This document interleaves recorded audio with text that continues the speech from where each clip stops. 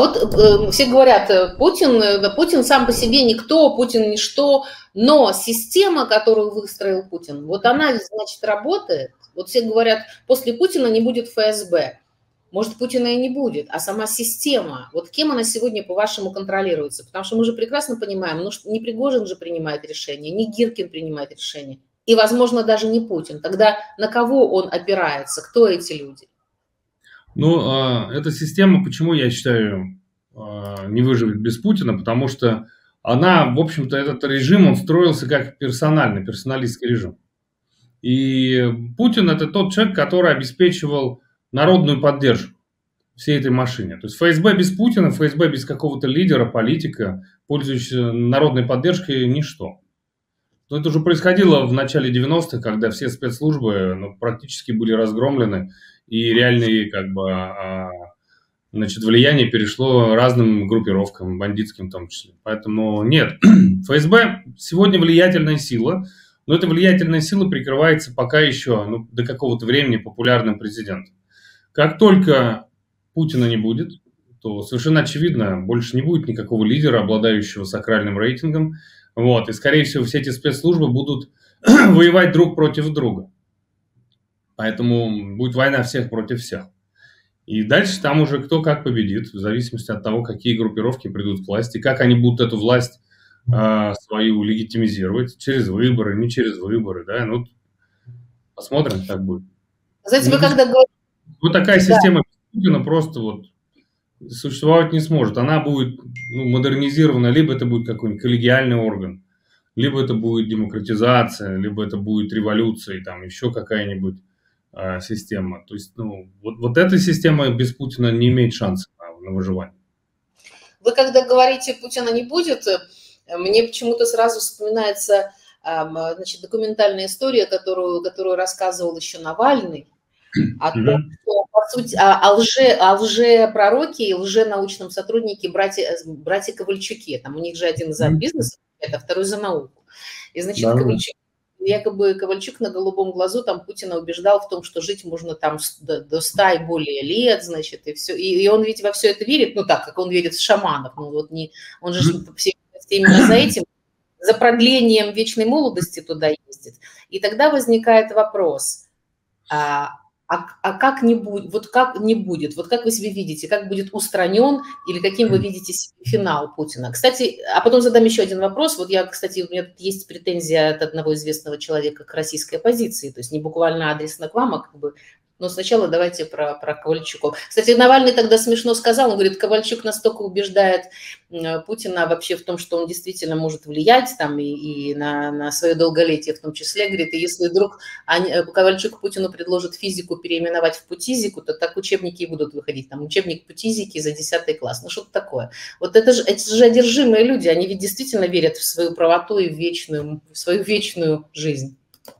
Да, это как был такой генерал э, при Ельцине, по-моему, да, а, по-моему, Рагозин он, или, может быть, я сейчас путаю, который а, приходил и говорил, как правильно расставлять мебель в кремлевском кабинете, там, значит, а, по какой-то своей методике.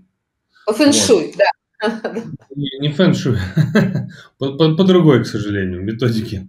Вот, а говорил, когда подписывать там всякие разные соглашения, договоры и прочее, прочее. Да, Путин тоже двинуты на этой теме, и Ковальчук это прекрасно понимает, это использует. Насколько я понимаю, Ковальчуки даже идеологи вот этого путинизма последнего времени. И э, ну, я просто знаю о частых поездках Путина ко всяким шаманам. Когда-то он даже туда э, любил летать с, с Шойгу вдвоем. Где они, там же они охотились, насколько я помню. ну, Но... что могу поделать? Ну вот а, управляют Россией динозавры из прошлого века. Ну, а так, смотри, смотри, да, мол... что несет Путин, да? Ну то есть, если бы э, я такие разговоры слышал где-нибудь на лавочке за гаражами, да, ну, мужики сели, поиграли в домино, выпили и поговорили. Ну окей. А это то же самое, только с э, президентского э, кресла, да, с президентского, так сказать, из президентских э, уст вылетают все эти глупости.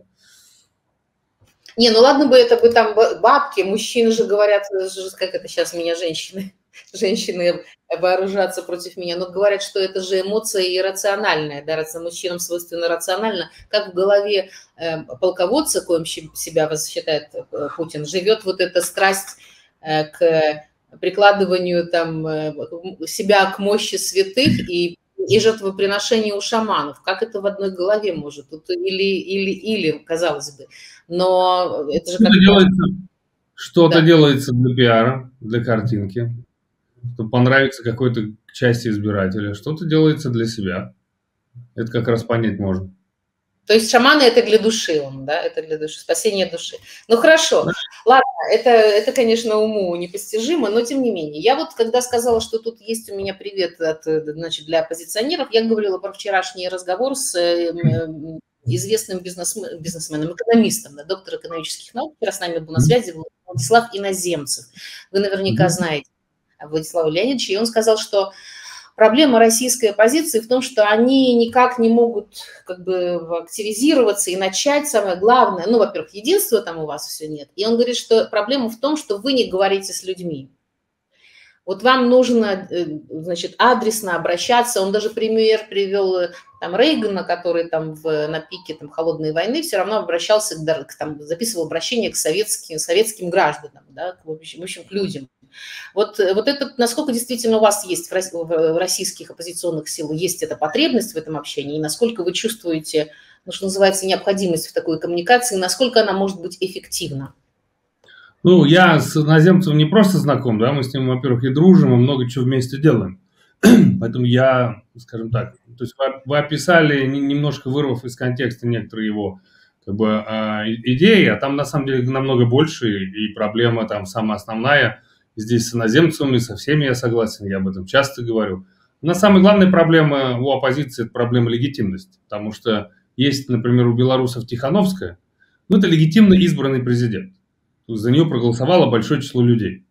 Вот, и, собственно говоря, после Тихановской как раз а, в Кремле приняли решение оппозиционеров не пускать ни на какие выборы, чтобы у нас этой легитимности не было. Они это прекрасно поняли, поэтому меня вместо выборов посадили там, а, в ВВС на Петровке, кого-то там отравили, кого-то убили, как Немцова, да, кого-то выдавили из страны.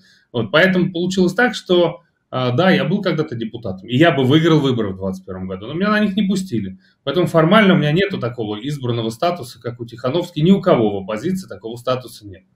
Поэтому и не то, что там люди не обращаются, конечно, мы обращаемся к гражданам нашей страны, где, где можем. Вот, но эти месседжи, они доходят до тех, кто умеет пользоваться интернетом, кто получает информацию из интернета. А у нас сегодня э, цензура тотально нет ни одного независимого СМИ. Facebook закрыт, там, э, Instagram закрыт, социальные сети закрываются, я думаю, YouTube закроют. Специально как раз, чтобы они нас, люди там не слышали. Вот, поэтому это есть проблема. Одна и проблема не в том, что кто-то что-то не так делает. Да, проблема в том, что есть объективные вещи, объективные факторы. Вот, а, ну, нету избранного статуса. Объективный фактор, да. Ну, как я могу э, этот статус изменить? Да никак я не могу этот статус изменить, потому что я не могу выборы организовать, я не могу приехать туда. Вот, э, собственно говоря, и это серьезная проблема, мы это прекрасно понимаем, и ровно поэтому с Ходорковским, с Гуриевым, со многими другими, с там, Каспаровым, там очень много людей, которые сейчас пытается создать как бы альтернативу выборному статусу. Какая может быть альтернатива? Это объединение. Поэтому вот идет объединение э, антивоенных демократических сил. В Берлине была подписана э, декларация, где четкое было отношение и к международно признанным границам Украины. Кто не подписал, идите нахрен. Да, значит, э, там все это есть. Вот, э, и на базе этого документа идет сейчас объединение. Например, в Брюсселе в рамках брюссельского диалога а, в Европарламенте прошла встреча, где было там человек 300, были практически все а, российские оппозиционеры. Вот сейчас мы продолжаем этот диалог и с Европарламентом, и с ПАСЕ. Я думаю, что, а, конечно, проблемы есть, какие-то нерешаемые, какие-то решаемые. Все, что можно решать, мы попытаемся это делать. Ну, смотрите, у вас, пока вы существуете в параллельной реальности, потому что пока вы, значит, думаете, да, как вы будете возвращаться ну, как вы будете там удерживать власть. А Путин тем временем в 10 раз увеличивает штрафы за неявку в военкомат. И принудительно в России мобилизировали, мобилизовали, простите, мобилизовали около 60 мужчин на оккупированной территории. Вот, э, пожалуйста, спецоперация идет по плану? По какому по плану? Не был план за 10 да, дней захватить Украину и 9 мая провести парад на, на Хрещатике, там, да, на, в Киеве, э, вот, парад Победы. А, ну, конечно, Путин будет это делать, но на самом деле все, что он делает, а, рано или поздно даст э, как бы результат с точностью да наоборот. Как раз те люди, которых это коснется, прибегут в интернет, да, новости читать, перестанут смотреть телевизор. Кстати, сейчас э, сегодняшняя новость резкое падение э, рейтинга телевизионных программ пропагандистских. Вот. И куда люди идут? Они идут в интернет. Почему? Потому что там можно меня послушать, Ходорковского, Каспарова, там, на, на команду Навального, да, и разных людей, независимых журналистов, которые расскажут, что происходит в России, потому что многие до сих пор не понимают. Но если ты смотришь телевизор, конечно, не, не будешь понимать. Вот. Поэтому все эти путинские действия, они на самом деле э, уменьшают базу поддержки власти, они Э, увеличивают количество людей, которые э, захотят альтернативу. Так что процесс идет.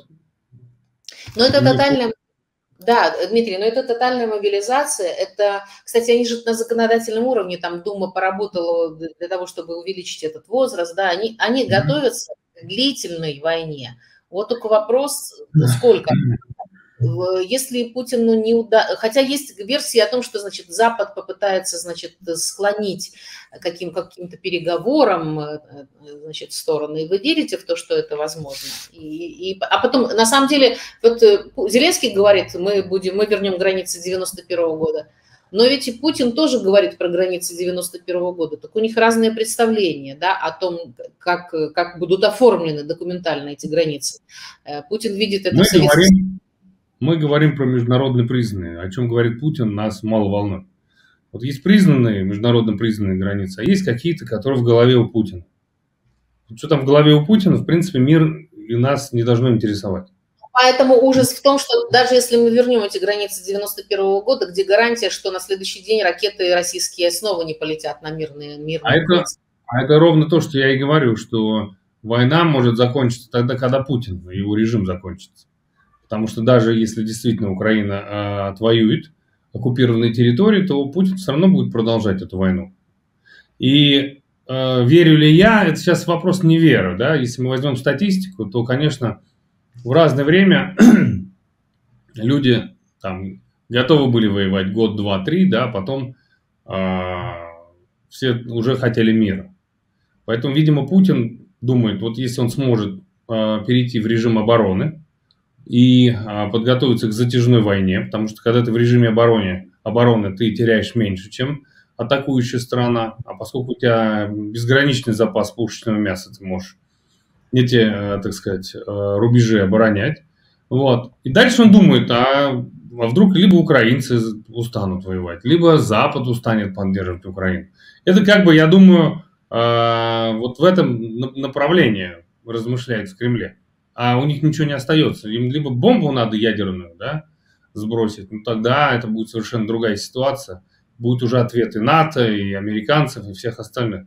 Вот. Либо что ты будешь делать? Атаковать ты не можешь. Удерживать просто территории, ну, достаточно сложно. Значит, тебе нужно к этому как-то готовиться. Поэтому, э, да, вот эта затяжная война, это то, к чему Путин готовится, потому что никаких переговоров сегодня быть не может, потому что одна сторона готова переговариваться, что справедливо в случае освобождения всех оккупированных территорий России. Да. Другая сторона, я имею в виду Путин, да, не сможет э, вывести войска отовсюду, потому что иначе это будет э, внутри страны расценено как поражение. Ну где тут компромисс? Его нет. Поэтому какой вывод? Ну, готовимся к затяжной войне. Поэтому они меняют законодательство, переводят экономику на военные рельсы, вводят разные, как сказать, на, разного уровня в разных регионах мобилизацию граждан, поэтому да, пока мы наблюдаем именно подготовку к затяжной войне.